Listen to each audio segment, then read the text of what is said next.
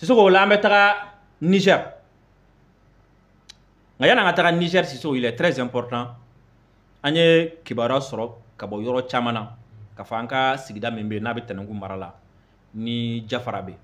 o ye anw yɛrɛ ka dugu ye k'a fɔ ko binkannikɛlaw kɔni y'a a kɔrɔbɔ sɔgɔmada na k'u bɛna bin ye an ka finitigilaka minnu bɛ yen kan ɔ an ye citation laban minnu sɔrɔ ɔ ayiwa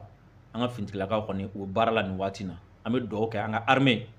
ka dugawu kɛ an ka finitigilaka bɛɛ lajɛlen ala ka sebagaya di u ma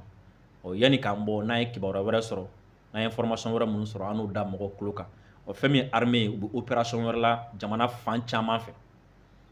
Sisoko yanni an ka don Niger halisa fɛn min ye Algérie ni CEDEAO olu tun bɛ ɲɔgɔn ye la ɔ CEDEAO y'a ɲini Algérie fɛ ko a ka di olu ye u ni Algérie ka kuma ɲɔgɔnya a ka kɛ waati o waati olu CEDEAO ni Algérie ka to ka kuma ko Afrique de l'Ouest kan o ye fɔlɔ ye ani Sahel kan ani minnu bɛ taga tungara minnu u ni Algérie ka discussion kɛ waati ni waati u kana fama ɲɔgɔn ma quoi waati o waati u k'u sigi u ka kuma Afrique de l'Ouest kan kɛrɛnkɛrɛnnenya la Sahel kan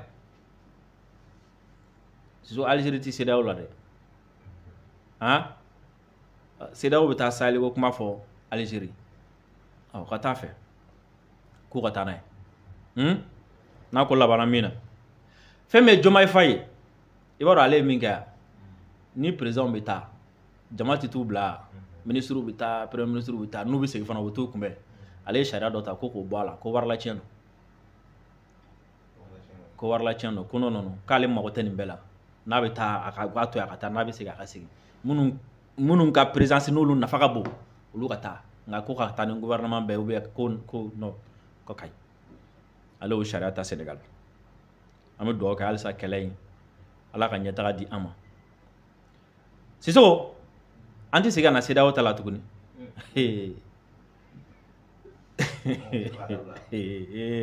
CEDEAO ma dan o ma koyi awɔ CEDEAO ma dan o ma koyi e b'a dɔn CEDEAO ye min fɔ ka fara o kan han ko nous notons u ka communiqué la u ye min kɛ le 30 avril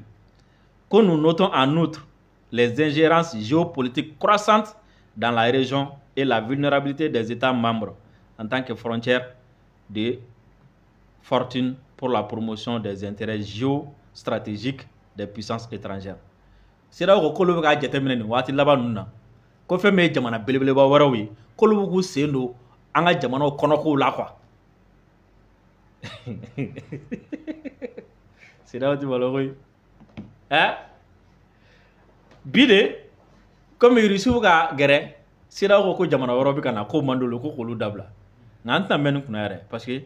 komi an n'olu tɛ ɲɔgɔn ye sira la kosɛbɛ ten sisan an t'u to yen ɔ an bɛ sɔrɔ ka taga nizɛri n'an taara nizɛri fɛn min bɛ yen kalo damadɔni bɛ san tɛmɛlen kɔnɔna na n'a kun fɔr'i ye k'a bɛ kɛ tiɲɛ na i kun tɛ d'a la o ye jumɛn ye o ye niger ɲɛmɔgɔw olu ko fɛn min amerikanw ka sɔrɔdasi ba kelen mun bɛ fo yen k'u k'u ka minɛnw cɛ k'u ka taa ka bɔ niger a ɲɔgɔn sama sama bonyana kosɛbɛ a ɲɔgɔn sama sama kɔfɛ amerikanw sɔnna tagali ma nigerian kɛlen ka bɔ ka manifestation kɛ amerikanw sɔnna tagali ma ko awa k'olu b'u n'u ka minɛnw ta ka taga ɔ o bɛnkan kɛlen yanni amerikɛnw ka taga fɛn min nigɛr ale kɔni taara rusi ka taga kɛlɛkɛminɛnw san a ye kɛlɛkɛminɛn minnu san i n'a fɔ diɲɛ sariyaw kɛlɛkɛminɛnw sariya b'a fɔ cogo min na n'i taara kɛlɛkɛminɛn san mɔgɔ min bolo ko kɛlɛkɛminɛn ninnu u kan ka labaara cogo min na a kan k'i former a la o la o formation a bɛ se ka kɛ min ye marifa feere ma a bɛ se ka kɛ o fɛ yen i n'a fɔ a bɛ se ka kɛ e yɛrɛ a y'a hakɛ to i n'a fɔ a bɛ se ka kɛ e yɛrɛ fɛ yen ɔ fɛn min ye irisi olu ye sɔrɔdasi kɛmɛ ɲɔgɔn k'o da o kɛlɛkɛminɛnw kan ka na n'o ye nizɛri ko ka nizɛri fɔrme o kɛlɛkɛminɛn ninnu i b'a dɔn an ye aradari ninnu ni fɛnw yira mɔgɔw la ɔ o sɔrɔdasiw nana ɔ i b'a dɔn a kabako yɔrɔ ye min ye i b'a dɔn amerikɛnw ka sɔrɔdasiw bɛ kan min kɔnɔ dɛ ɔ u taara irisiw bisimila yen kan kelen de kɔnɔ dɔn kɔrɔ ye jumɛn ko américain ma a ye wuli ninnu k'u sigi an bɛ ka kuma nin waati min na fɛn min ye o sɔrɔdasiw kɔni olu taara ka t'u sigi o kan kɔnɔ nin waati na américainw ani irisiw olu fila bɛɛ bɛ o kan kɔnɔ ga kelen dɔrɔn de b'u ni ɲɔgɔn cɛ américainw yɛrɛ ka finitigilakaw ka ɲɛmɔgɔ so n'o ye pentagɔni ye olu ye kuma in sɛbɛntiya ko tiɲɛ yɛrɛ la ko awɔ La même source a précisé que les forces russes ne se mêlaient pas aux troupes américaines, mais utilisent un hangar séparé sur la base aérienne 101. Kunafana bɔra yɔrɔ min na min ye kunnafoni di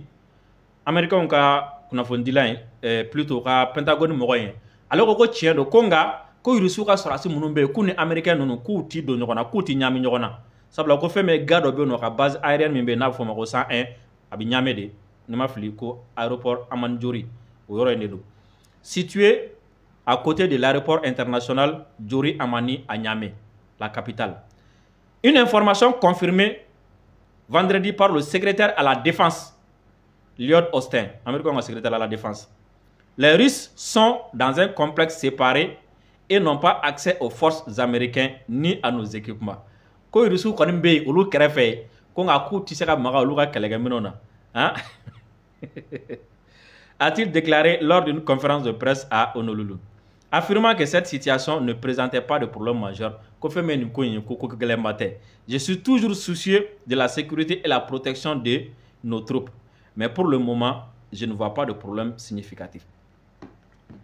ɔ tiɲɛ yɛrɛ la ko fila bɛɛ bɛ ka jɛ kan kelen na nin waati in na sisoko sadire ni fɛn bɛ yen min bɛ amerikɛnw tɔɔrɔ diɲɛlatigɛ yɛrɛ la hali n'a kuma tɛ se ka taa fɔ u ka so o de ye k'a fɔ k'olu waranpilasera ni irisi ka sɔrɔsiw ye aa o kelen de o fadenya o ka bon ni ɲɔgɔn cɛ dɛ non seulement c'est à dire remplacer li dɔrɔn tɛ dɛ c'est à dire ka na n'u ye k'u bila u kan yen yan'u ka depuis u ma taa fɔlɔ kɔ kɔrɔ ko n'aw taara ninnu de bɛ nana to yan yalima yɔrɔ wɛrɛ tun bɛ sɔrɔ wa yɔrɔ wɛrɛ tun tɛ sɔrɔ wa o ye kuma wɛrɛ ye a ko bɛna na kɛ cogo di o ye kuma wɛrɛ ye est ce que mais ne kɔni bɛ fɛn kelen dɔn han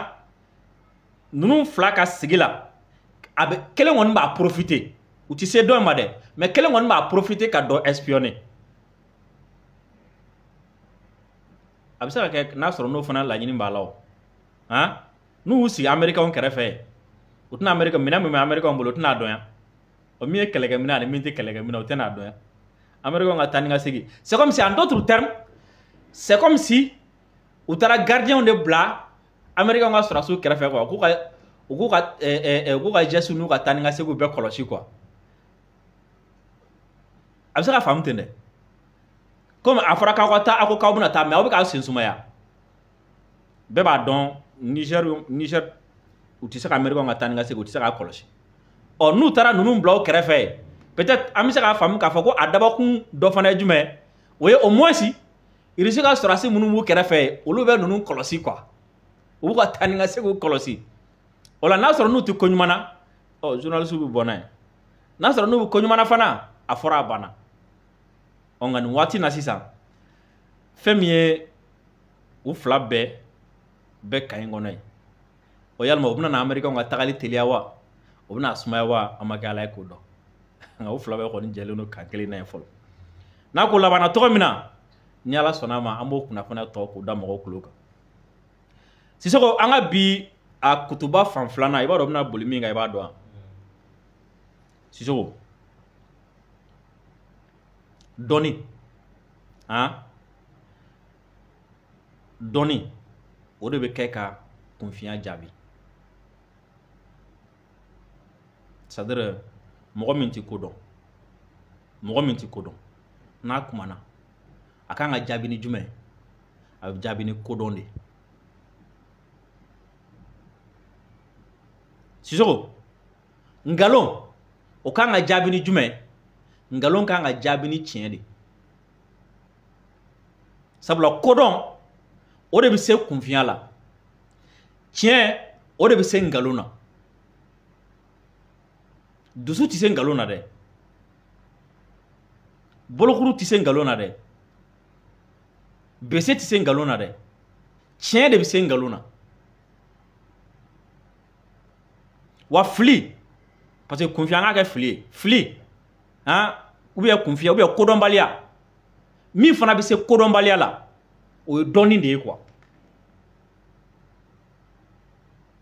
n t'a dɔn n'i bɛ ka kuma in faamu donc o kɔrɔ ko nkalontigɛla a kan ka kunbɛn ni jumɛn a bɛ kunbɛn ni tiɲɛ de o kɔrɔ ko min ka dɔnta man bon kosɛbɛ a kan ka kunbɛn ni jumɛn a bɛ kunbɛn ni dɔɔnin de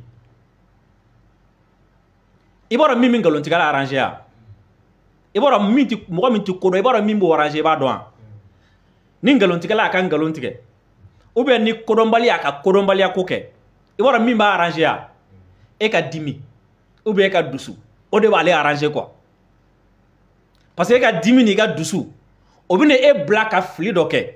o la o b'ale ka nkalon ani a ka kodɔnbaliya o b'o latunu quoi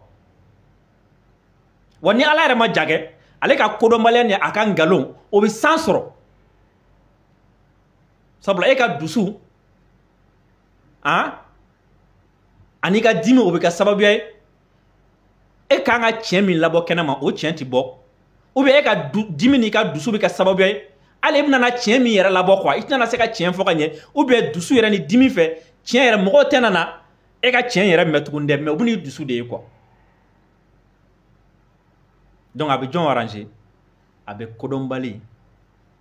ani nkalontigɛla de arrange o de la n ko nkalon bɛ kɛlɛ a bɛ kunbɛn ni tiɲɛ ye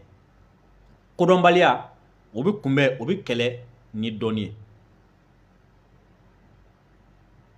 sisoko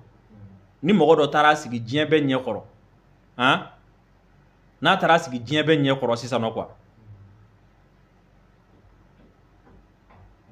ko kalo ye finman ye n'i ye kɛlɛ k'a fɛ sisan kalo fini don a jɛlen don mɔgɔw bɛ n'o dɔn yan han mɔgɔw tɛ n'o dɔn yan parce que aw bɛ kɛlɛ la de d'ailleurs kɛlɛ yɛrɛ bɛ sɔn ka kɛ sababuya ye aw bɛ bɔ kaloko sujet kɔnɔ aw bɛ taa don sujet wɛrɛ kɔnɔ o la tiɲɛ ni nkalon yɛrɛ tɛ dɔn bilen c'est a tɛ fɛɛrɛ kɛ a ka kalo ɲɛfɔ mɔgɔ ye dɔrɔn n'an ye kalo ɲɛfɔ mɔgɔ ye sisan mɔgɔ tɛna tigɛ nkalontigɛlɛn na ni mɔgɔ tigɛra la u b'a lamɛn bilen yan ni mɔgɔ tigɛra la ale yɛrɛ tɛna maloya ɔ nka n'an dimina ka dusu a bɛ mun kɛ o le k'an kana kaloko kuma la an bɛna ɲɔgɔn bɔgɔ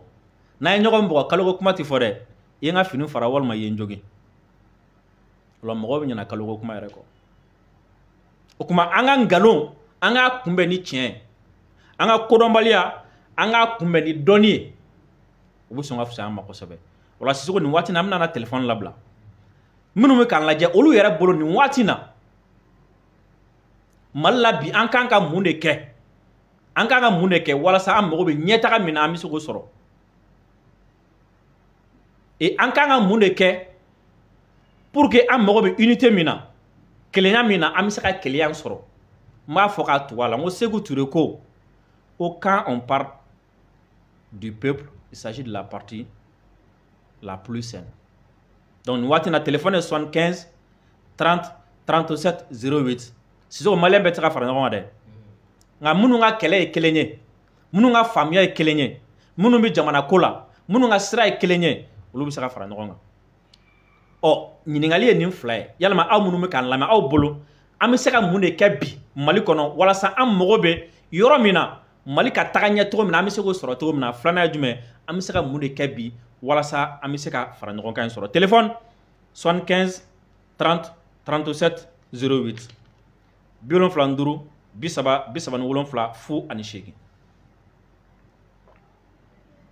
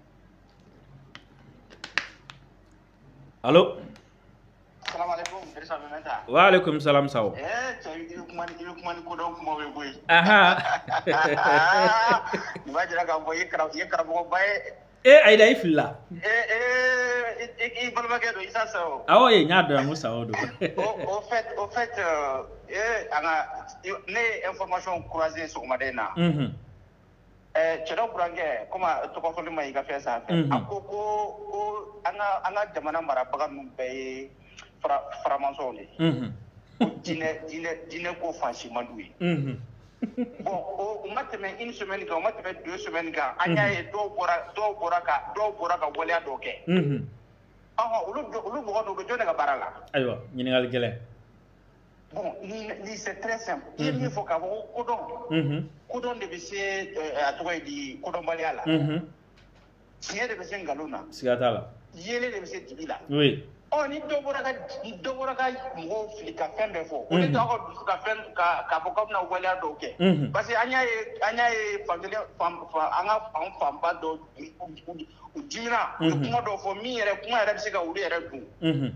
aw bɛ bɔ aw ye bɔ dɔrɔn aw ka ko clarifier c'est très simple la oui mais nkalon ni tiɲɛ n ko mɔgɔ n ko n ko n ko hakili de bɛ mɔgɔw la Mhm. ni nkalontigɛla y'a ka nkalon tigɛ e min ta ye cɛ min ko i ta ye tiɲɛ ye o kɔrɔ i ka cɛ da kɛnɛ kan c'est très simple la siga t'a la mais an bɛ min fana fɔ ka d'a kan Dirisa cɛ diinɛ ye diinɛ ye taabolo kɔrɔ sɔrɔ an fɛ yan bɛɛ k'i ta kɛ mais mɔgɔ si kana mɔgɔ si ta gosi ta lagosi